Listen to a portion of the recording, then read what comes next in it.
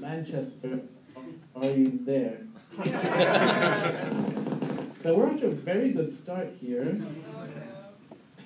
Can you hear us, John?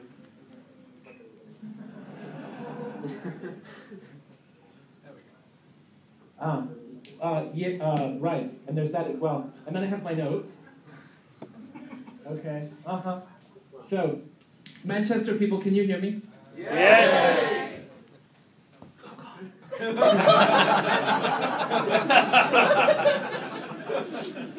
right, and did you see my slide before? No! No. Oh, okay, right, hold on. Screen share. That's a good looking group. Yay! Oops, I lost, um, lost my pointer, but otherwise. So what do you see now, Manchester? The pointer. Slides! Thank you. Pointer Does anybody Manchester. know? So I've lost my pointer on my. Um, It's in Manchester.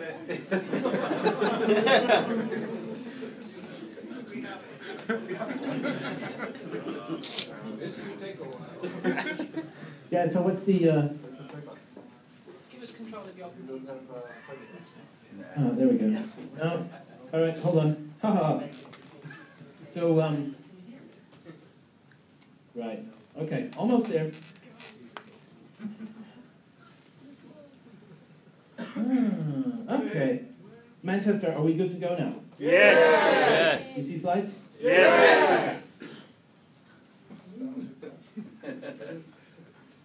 Oh, this is really challenging. Okay, all right, I don't know what to do. Hold on, everybody stay cool. So, did you see slides now when I was uh, Yes! showing Yes. slides? Yes! And and could you hear me when I was when I when you could see the slides as well? Yes! So I'm gonna get started. Right. Good. Um, hmm.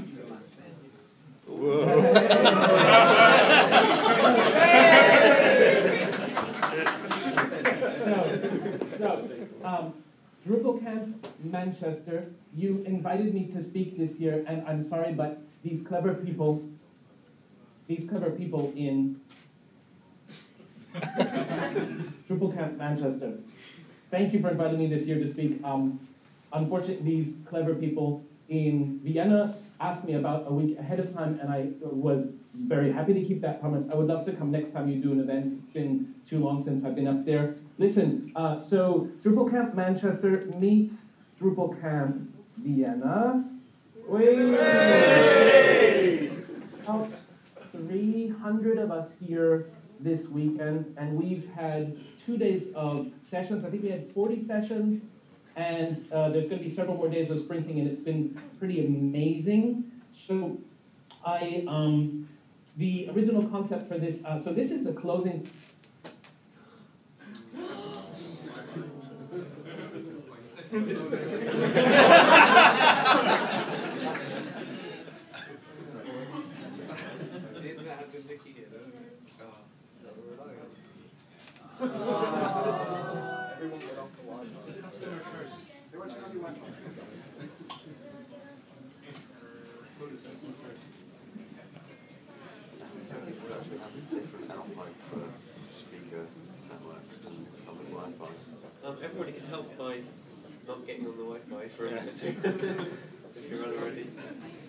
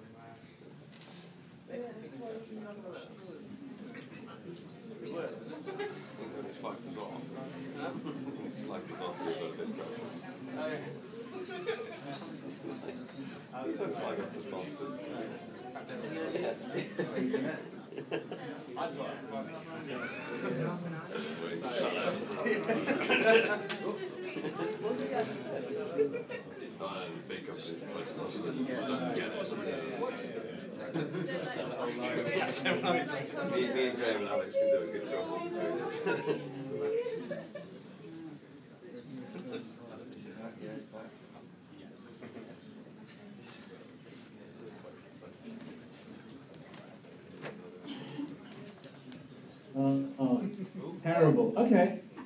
Hooray! We lost you for a minute John. Okay, so everything I. Uh huh.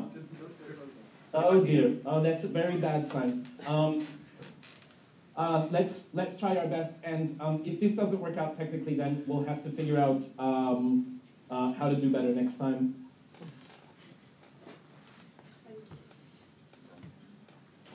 I'm hoping that everyone can hear me now. It's um, I think that's going to be half the presentation. Is can you hear me now? Can you hear me now? Can you hear me now? Um, the original version, uh, the original um, Angie Byron was kind enough to give me a set of slides that she's been using to talk about Drupal 8. Uh, so the majority of the material is originally from her, and she very generously shared it with me to help me prepare this. Um, who hasn't heard of Angie Byron? So Angie Byron is WebChick. WebChick is one of the most uh, important, significant contributors to Drupal. She now works for Acquia um, as the Director of Community Development, and she's one of the people at Acquia who's simply paid to work on core. She works directly with Dries. Um, and uh, she was on the cover of the last paper edition of the Linux, Linux uh, magazine. Um, she's an incredible person, and um, yeah, I'm really very, very proud to have her as a colleague, actually. And um, we're lucky as a project to have someone like her um, helping us out. So this is what we're going to be having a look at today. What is Drupal? What's new in Drupal 8 for four different target audiences, and when can I use it? Um, and what is Drupal is maybe just an idea of a couple of ideas to help you talk about Drupal with other people. So what is Drupal?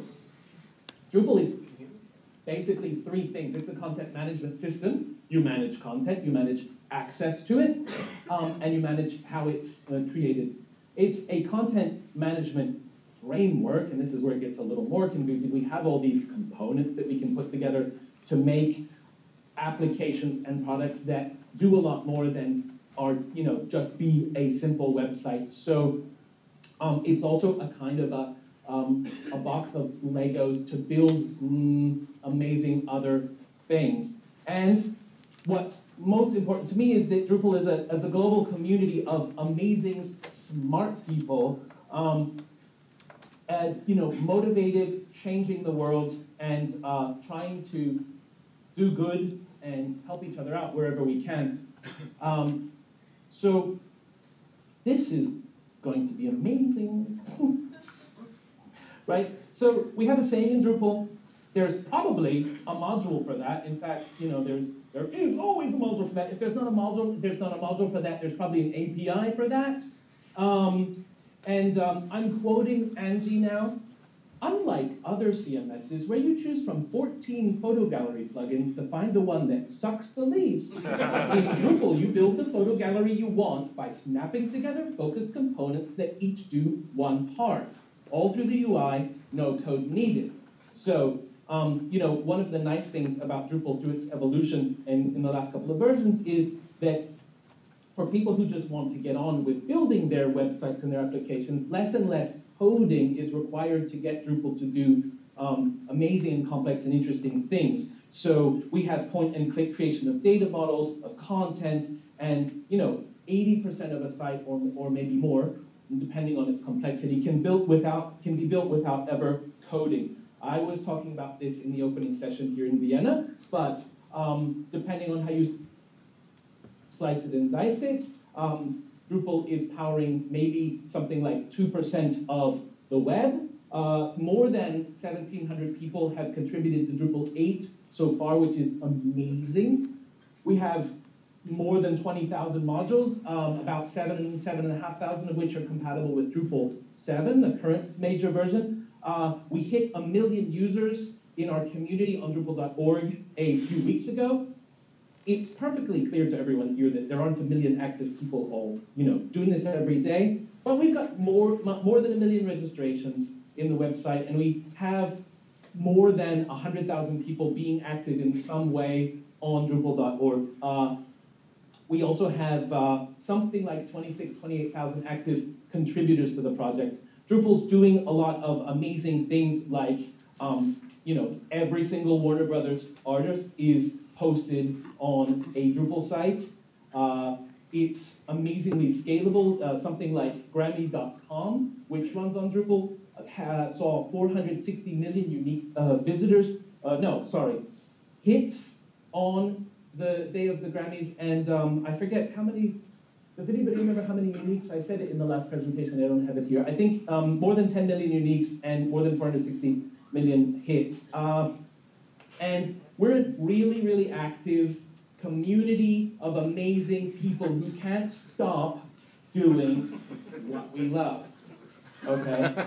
So, and along the way, we're, we're making the world a better place. So the Metropolitan Transit Authority that runs public transit in New York City, um, Hurricane Sandy hit and the infrastructure in the city was in great danger and a lot of people had to know if they could get around and how they should get around and how they could get to safety. And this Drupal site stayed up during the entire crisis, during the entire storm, and helped people get to where they need to go and be safe. So um, something like that, I'm really, really proud to be a, a Drupalist when, when, when I can find out that our, you know, code is actually relevant in, in real life. Um, we're changing the way governance happens in the world. We the People is a Drupal application that's on GitHub, and it's uh, just one of the repos GitHub repositories that the White House has. And this is a way to uh, for Americans to petition their government to make changes.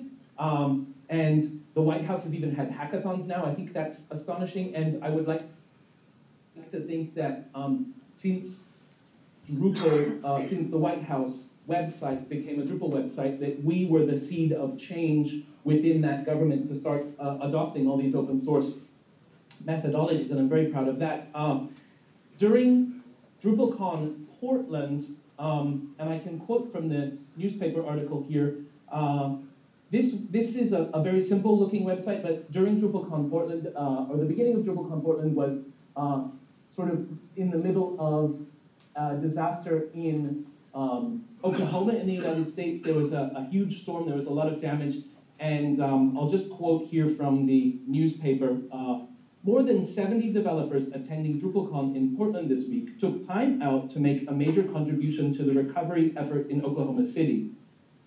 24 people were killed and more than 1,000 homes were damaged or destroyed when a massive tornado swept through Moore and, other Oklahoma City suburbs. 70 plus DrupalCon attendees teamed up with the Federal Emergency Management Agency representatives on an all-night hackathon to develop a website to assist in the recovery.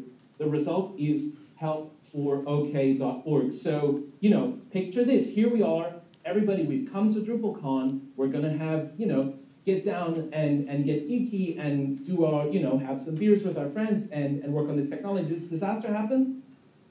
More than 70 of us stayed up all night to make a piece of infrastructure to help out these people in trouble. It's another uh, real world application of our technology that I'm, I'm very, very proud to be associated with. So Drupal is um, all this code, and it is an amazing bunch of people using that code to do um, important things often.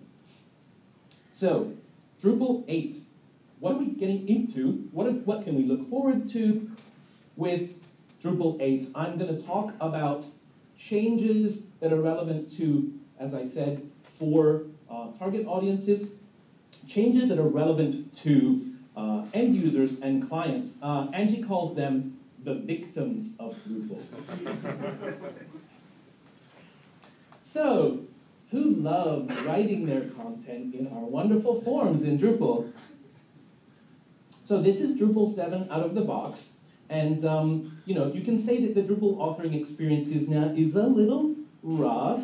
Um, so you find a piece of content that you want to edit and you, you want to make changes. You click the edit tab, then you get to write um, straight up HTML into these boxes with all this incredible busyness going on around it. Everything looks just as important as everything else. Um, it can be some of the options, you know, can be really obscure for new users, and um, there's no real visual hierarchy there. There's nothing, there's no visual cue there to tell you this is an important thing, this is a less important thing. Uh, then you get the fantastic experience of hitting pre preview to see what you've just done, and it doesn't look anything like the theme of your website. You get to see all your content twice, except half of it's missing, and there's a yellow background on it. Why is that? And that's in the admin theme. So, you know, hooray! This is this is great um, UX. Um, so, as Drupal has become less and less uh, developer focused, and I mean that in a very positive way. When I joined the community, basically um, it was only developers, and now our community is comprised of marketers and designers and business people and all sorts of non-technical people who enrich the, the overall environment of the system. And so it's more and more important that uh, not just us technical people know how to create content in our content management system. So uh, part of this effort, um, a Drupal 7 distribution called Spark was created, and it was supposed to be a way to research and implement more uh, usability for content authors. And the changes that were experimented with in Drupal 7 are basically being ported straight into Drupal 8, where it's going to be, you know, a fantastic new world. A lot of this you can use in Drupal 7 now if you get this, but um, the point is this stuff is coming in Drupal 8 now. Um, yeah, it is my phone. You want to take it? so, so, so um, I hope it's everybody tweeting about how, you know, about this. But anyway, so the Spark team did a bunch of research um, of about uh, looking at other projects and how they do this sort of thing and what, where could we learn from them? I, I, suppose you could also call this part of the getting off the island exercise. It's finally realizing that, that you know there are a lot of solved problems out there and we can adopt some better practices around our own projects. So um, this is a comparison of the authoring experience in several projects and uh, apparently what we consider the technical strength of, of us compared to everyone else. Um, it's an interesting comparison, but the point is that um, it's pretty clear that uh, we have a lot of room, we have a lot of room for improvement. So what's one of the first, what's the most important, what's the single most important thing about Drupal, right?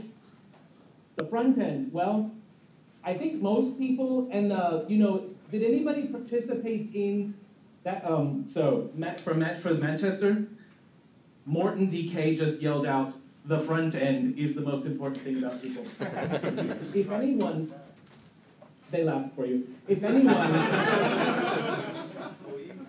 if anyone here took the 2011 um, Drupal survey, I forget exactly the name, the State of Drupal survey in 2011, the top response of what is Drupal, what's important is Drupal, was flexibility.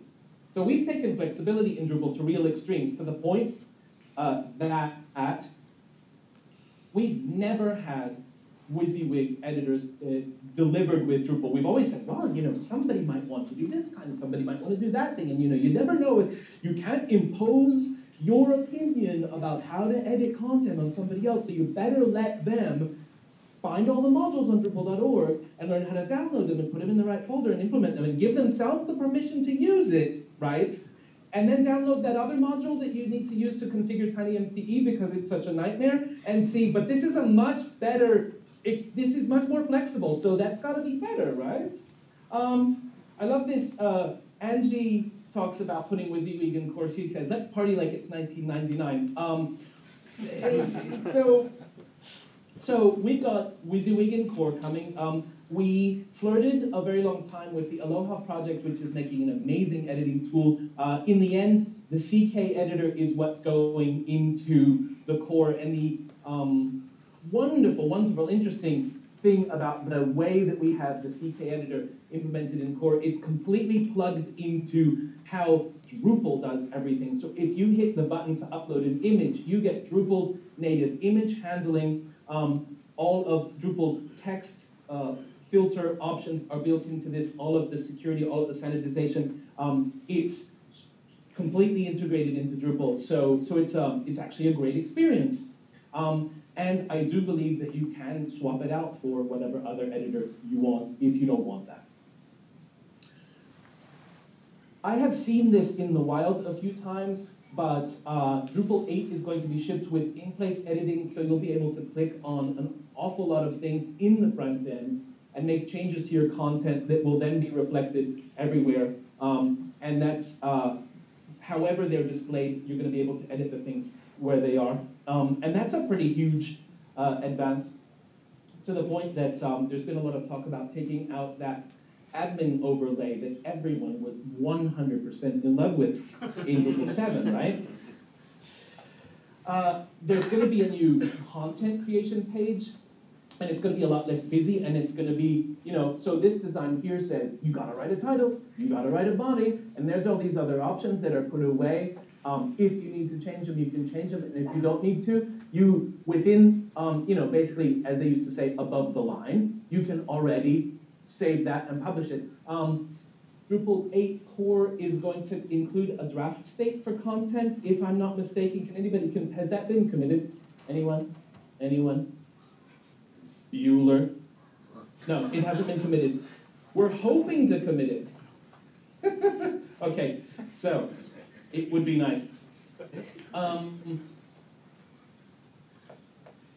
there is an effort to put real content previews into Drupal 8 that would, you know, that really look like the front end of your site. Um, I got these slides from Angie a couple of weeks ago. Has this made it in?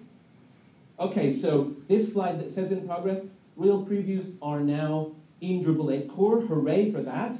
That's a great step forward. Um, another fantastic uh, advance for Drupal 8 is this multi-device world that we're in where, you know, next year we're probably going to have to put the Oculus Rift and the Google Glass and I don't know what else, the Apple iWatch on this slide, we don't know yet.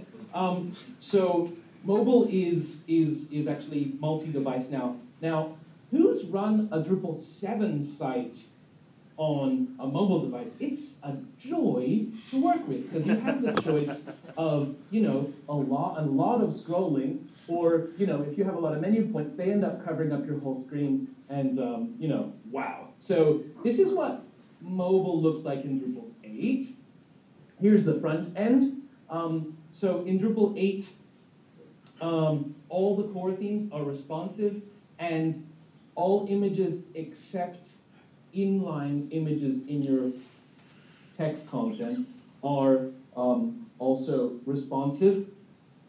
And um, so, and Jesse Beach, especially a lot of people, but especially Jesse, did a really, really wonderful job of taking the admin theme in Drupal 8 and making it incredibly useful on a mobile device. So there's a couple things to point out here. One is that we finally um, have agreed to use some icons. So you see on the left uh, mobile device there that there are actually icons for the menu points that allows us a much compacter menu structure. Uh, and on the right, what you see is an example of what I believe is called a smart table. Basically, you can prioritize the columns in a table to say, when I hit this responsive breakpoint, and if my table is therefore too wide, drop this column first, drop that column next, and then at a certain point you can also specify columns that will never be, never be dropped from the display. So that's, that's really, really cool. That's really, really helpful.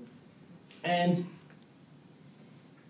not sure if in progress or realized by now, but um, in the real preview functionality, uh, it, there's also going to be a mobile mobile preview so that you can test those breakpoints and um, responsive tables and all the rest of it. So, so fantastic for for multiple device, fantastic for the, the mobile device world. Um, I do know that we have hit the point where an anonymous user hitting the front page of a Drupal site should now have no no JavaScript loaded at all. I think that that's all been committed. Um, basically, there's there's a ton of uh, optimization going into this huge performance kit that um, the front end of a site will give you. So so um, front end performance is being looked at a lot. That's pretty great. Now, changes for everybody in the trenches. You know, the people who get all that work done in Drupal, and uh, you know, make lovely, lovely websites for the world. Um, so we have a whole bunch of new entity types, and we have a whole bunch of new fields, and they do a couple of really cool things along the way. I'm going to show that in a second. But um, the, uh, the data model in the back end has been unified a lot. Um, the, um, so Yves Benoit is here somewhere this weekend, and uh, he gave a fantastic presentation about uh, the unification that's going on around entities in the back end. And if you, uh, once that's online, if there's a video of that, I can highly recommend seeing that. The query builder that we've had on basically every Drupal site of any size since Drupal 5 is now finally in core. And um, here in Vienna, who doesn't know what Views is? Okay, this is this is easy then. So um, this thing to make tools and tables and lists and select content in all sorts of wonderful ways is now built into Drupal 8 core.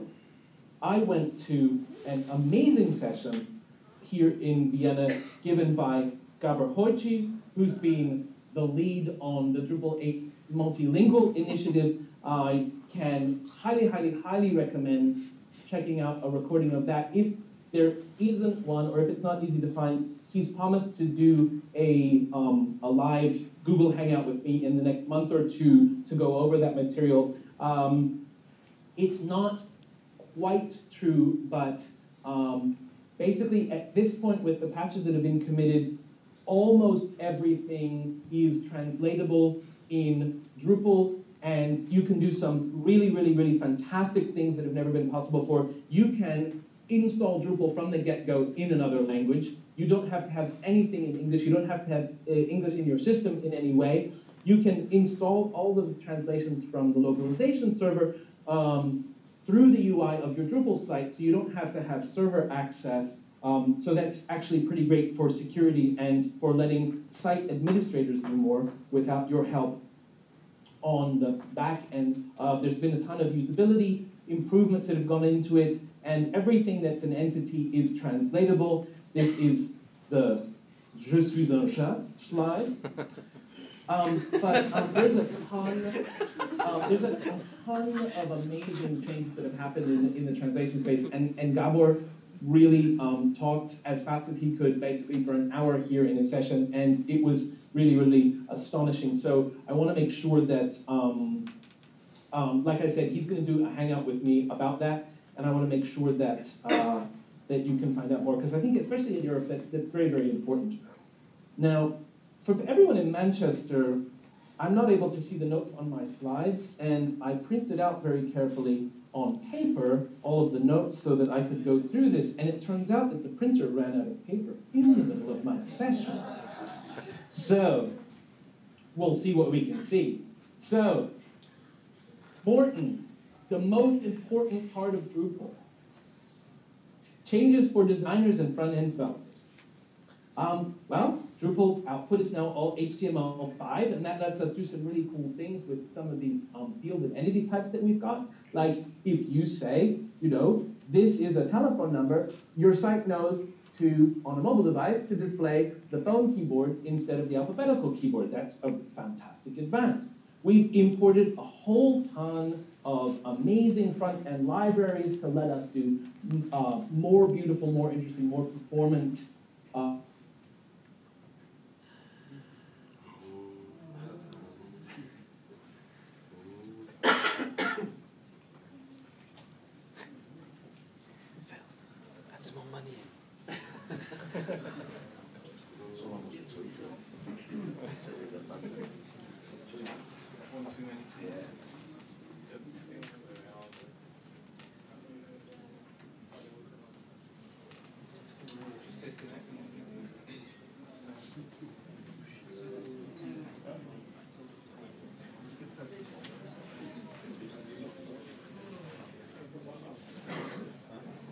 as I said, has a fantastic session.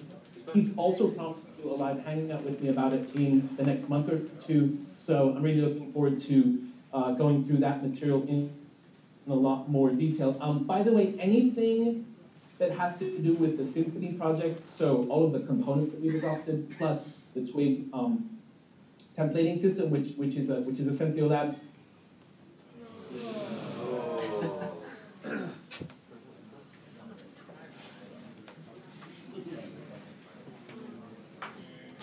Morten and Jen Lampton for getting cleaning. I'll just a second. We have a lot of, of really, um, yeah. Um, and, uh, so, thank you for asking up very soon and your picture in there. So, anyway. Right. Who's excited about the semantic web? Hooray! So, um, we're going to get semantic uh, schema.org compliant uh, RDFA out of Drupal 8 sites. This is really, really cool for making the search experience of the future. Um, uh, so between that and unique content IDs, we'll be able to do all sorts of new mashups across federated networks of sites. Um, so this is this is my weakest area, and I lost all my notes. So here we go.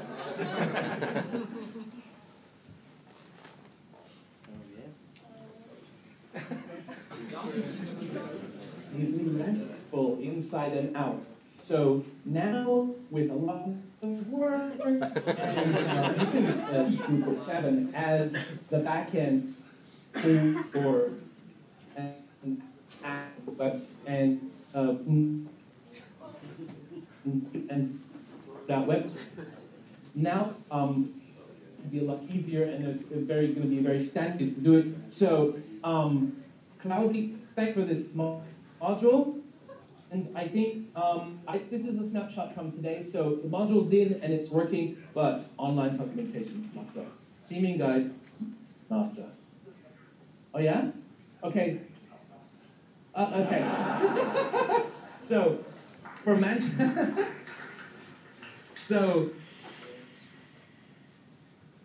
from Manchester, uh, Klausi, the, the rest must hear in the audience, he said actually the documentation is there, but it's not done, whatever that means. Um, uh, but this is a great example of an incredibly, an incredibly useful module that's going to make a difference for uh, uh, thousands and thousands of, of, of projects. Um, and it's a great spot where if someone understands this and has some time, it's a great uh, place to jump in and contribute. And there are spots like this all throughout uh, the D8 space. There are lots and lots of opportunities for people to get in and, and help get the thing out the door. Um, hey, oh, this is a great way to contribute.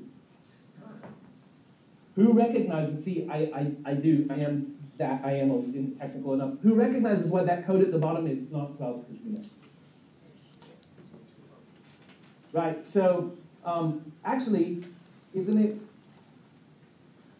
Right.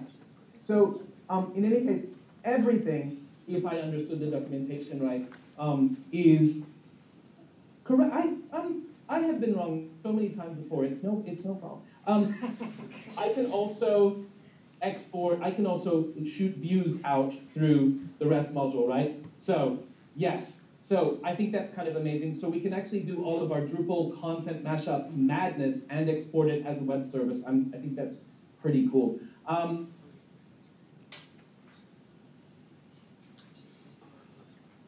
basically, every single person who I ask, what are you most excited about in Drupal 8? Um, they say CMI, CMI, CMI, CMI, CMI. So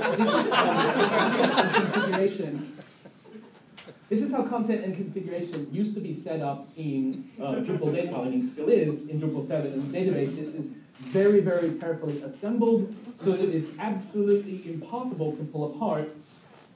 And um, now, there was a, the, the, CMI initiative made it so that content and the, the, the, the first idea was, oh, we need to be able to stage content in Drupal, which because of the decisions made in the database was very, very tough. Um, so content staging is something that grown up uh, software projects have been able to do for a long time.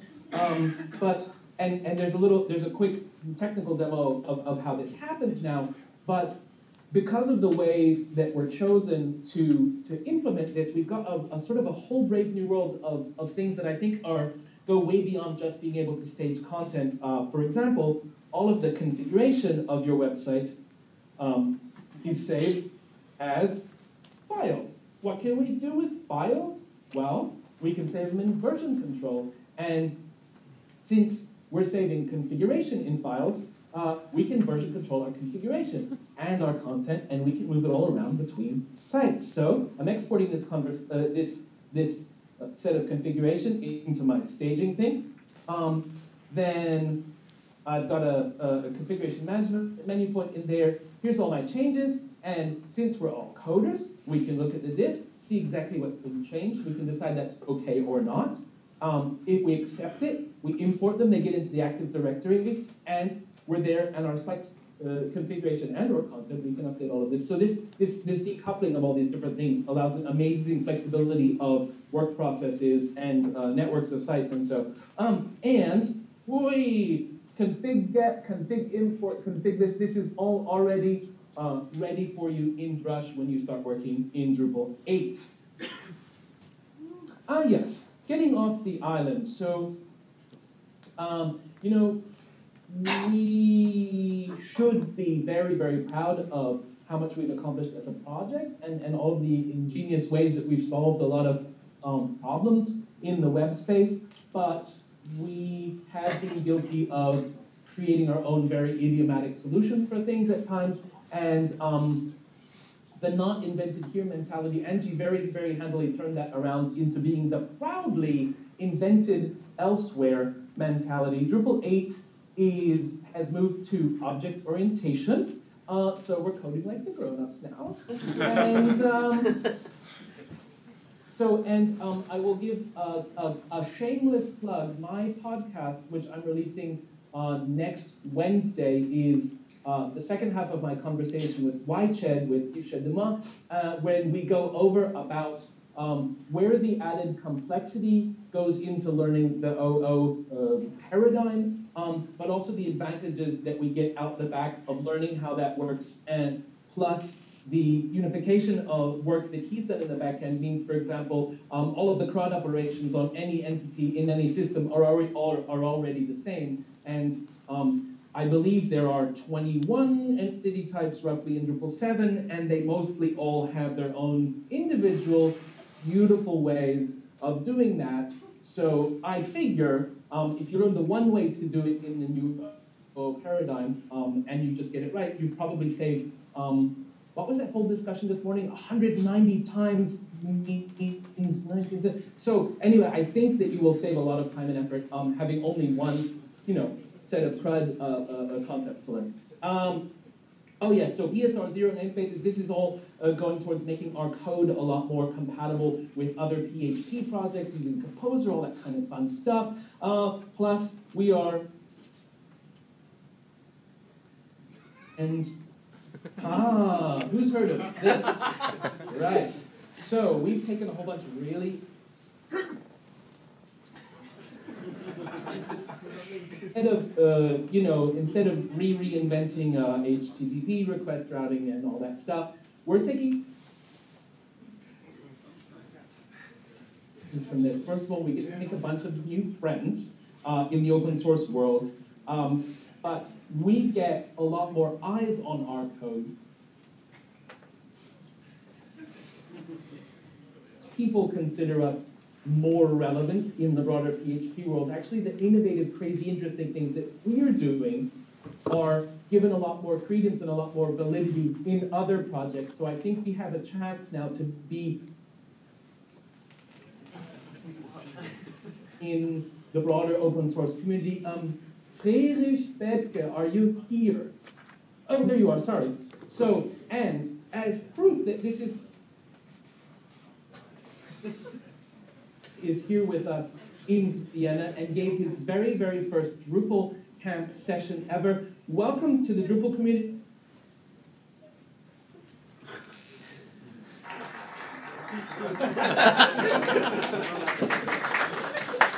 months ago, I was. too, so I think that um, I think this is the beginning of a lot more cooperation, a lot more interesting. Uh,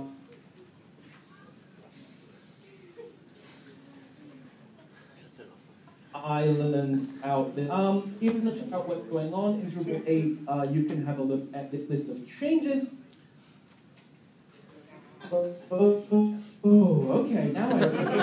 Who loves it when, when Dries and Angie say, who loves it when Dries and Angie say this? There are no hands up in Vienna. Um, yeah, this is also really cute. Um, this timeline, this timeline also said Drupal 8.0 release projected for DrupalCon Prague 2013. So, um, you know, there's all this stuff going on. There's all these huge changes happening. Um, I, the the most uh, the most recent conversation I had with Angie, um, she's saying we really really want to get it out the door in the spring. Um, so I don't know. Let's see who. No. So Daniel Kudwien is shaking his head. It's uh. Very. He's shaking his head very slowly. And dark. A dark shadow just passed across the room. So I'm gonna.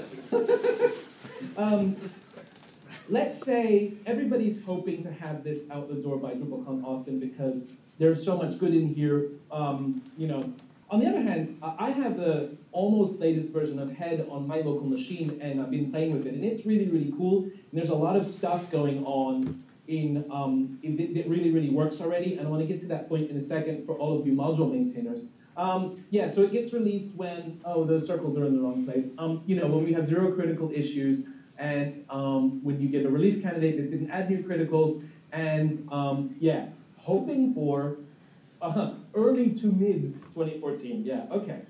Very nice. yeah, so so here's this timeline, um, um, you know, of when you might want to be starting to use Drupal 8. Uh, clearly, if it's major client projects, uh, you need to wait a while. Um, I had a great conversation with Rick de Boer in Prague, and then again recently online, and um, he's a real advocate for quality in the contrib module space, and um, he is very, very strongly encouraging module maintainers to upgrade to Drupal 8 now if you possibly can. And there are two or three really, really great reasons to upgrade your module now. On the one hand, there's a new a set of pro programming paradigms that you need to wrap your heads around in Drupal 8, and upgrading your own modules is, uh, is a great place to start figuring that out. Um, the second point is that the core team still has a lot of bugs to work out, and if there are still bugs hidden that we don't know about that are exposed by your particular module, you upgrading your module and discovering that will help delay the release of Drupal. I mean, uh, you, you, your, your exposing that bug will help us make Drupal 8 better. So, um, so there's a, there's a couple good reasons to actually really start looking at, at releasing your, um, at upgrading your modules to Drupal 8 right now. Um, Rick would also, he also um, says that, you know, people upgrading their modules now um, en masse, so if a lot of people do it, um, it'll also send a sign that our community is strong and healthy and that we're ready to move forward into this new uh, space. So, so um, I think that's uh, also legitimate, and it's certainly his personal request on anyone in the audience who maintains a module. Um, thank you to the more than 1,700 people who have contributed to Drupal 8 so far. That's at least 100 more since, uh, than since we were in Prague, so that's pretty cool. Um, if you want to help out, you can go to this URL and um, see what you can find to do. That guy has a pretty awesome mustache. so, so um, at this juncture, um, Manchester, we can't see you, but um, please, everyone in the room in Manchester who's contributed to Drupal 8, please stand up and then someone tell me roughly how many people are standing up.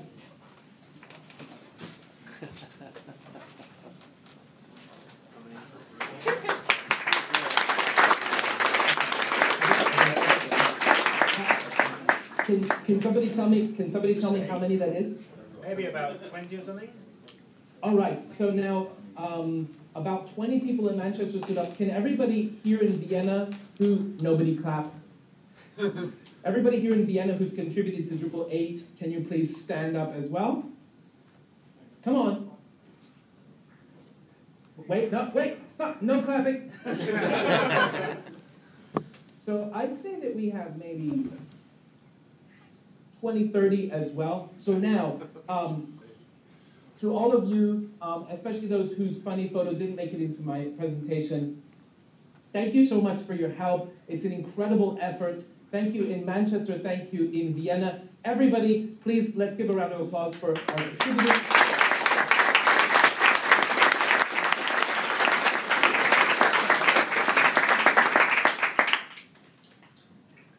Um, uh, thanks again to Angie Byron for helping me out with this presentation. Um, one more thing, we're in this uh, legendary, in not at all tacky uh, month of fundraising. I, my family is personally uh, affected by, by um, uh, prostate cancer this year, which is an unhappy situation to be in, but it does make me a little keen, a little keener to, to collect donations um, to fight this. So if anyone um, is able to make a donation to prostate cancer and to tes- tes- testicular cancer research, um, mm, I'm on the US Drupal team. Um, that's my personal URL for me. Um, whether you donate to me or my team or someone else who's in the effort, uh, please consider donating. I think it's really, really important. And um, thanks again for listening to me, Manchester. I hope to see you the next time around. Vienna, thank you for inviting me. And thanks a lot, everyone. Take care.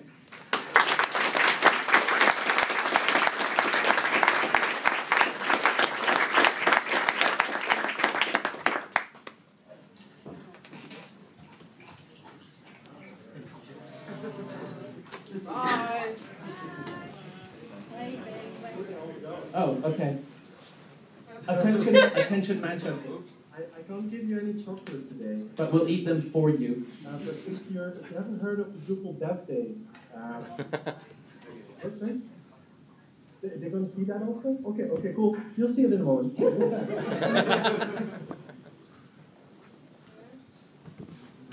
So